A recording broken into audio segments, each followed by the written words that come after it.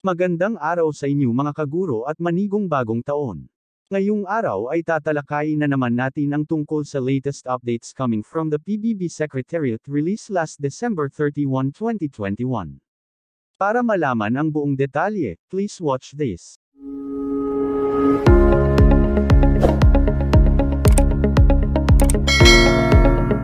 Narito po ang naging post ni PBB Secretariat last December 31, 2021.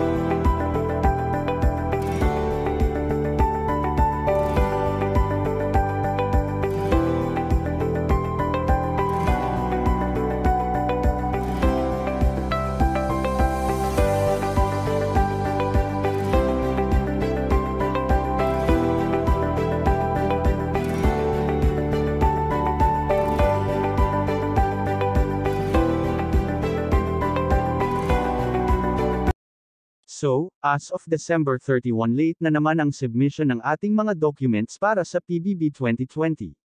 At yun lamang po ang ating balita ngayon tungkol sa PBB. Sana naman kahit ngayong January or February maibigay na ang PBB o Performance-Based Bonus 2020. Yun lamang ang ating updates ngayong araw. Maraming salamat sa panunood. For more updates like this, please don't forget to like, share and subscribe. Salamat! you